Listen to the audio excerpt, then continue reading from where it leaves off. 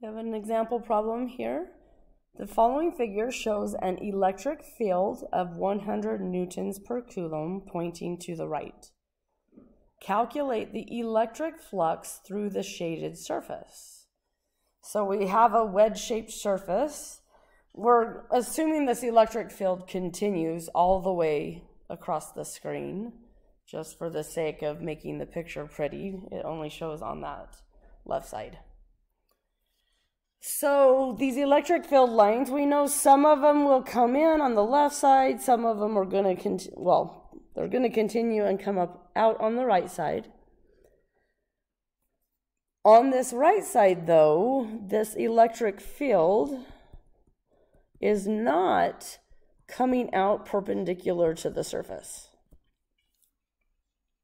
I can write this electric field as 100 newtons per coulomb I hat comes in on the left, comes out on the right. Now, electric flux, we can write as the dot product. This is a uniform electric field. It has a value of 100. It doesn't have a variable of x or y or z in it to suggest that it's changing depending upon position. So the dot product we can either write both vectors in terms of their x and y and z components and then do the dot product, or we can take the magnitude of the two vectors and multiply that by the cosine of the angle between them. So we already know the electric field is horizontal. The area vector, though, remember, is always normal to the surface. It makes a 90 degree angle with the surface. So if I could look at this wedge exactly from the side, so I only saw the triangular side, there's our 20 degrees. That's a little, let me try that again. Still not that great, but let's go with it. Okay, so the electric field we already know is in the x direction. Normal to the surface, I'm going to draw my normal right here. That's my area vector. So when we want to use EA cosine theta, Theta must be the angle between the area vector and the electric field. Okay. We know the horizontal and the incline of the wedge is 20 degrees, so that would put 20 degrees down here between the electric field, which is horizontal, and that surface of the wedge. So the angle we want is actually 70 degrees. The area vector makes a 90 degree angle with the surface.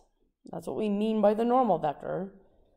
And so if this angle down here is 20, then the angle we want is 70.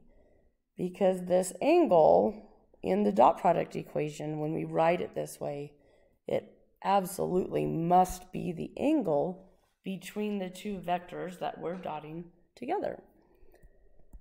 Since I know this angle, I'm going to go ahead and solve this problem this way, EA cosine theta, as opposed to trying to write my area vector in terms of x and y components, which I totally could, but I don't need to because I know the angle. So our electric field is 100 newtons per coulomb. The area we're shown that the two sides are two meters, so those would be two squared. And then cosine of 70 degrees gives us these components that lie along the same line.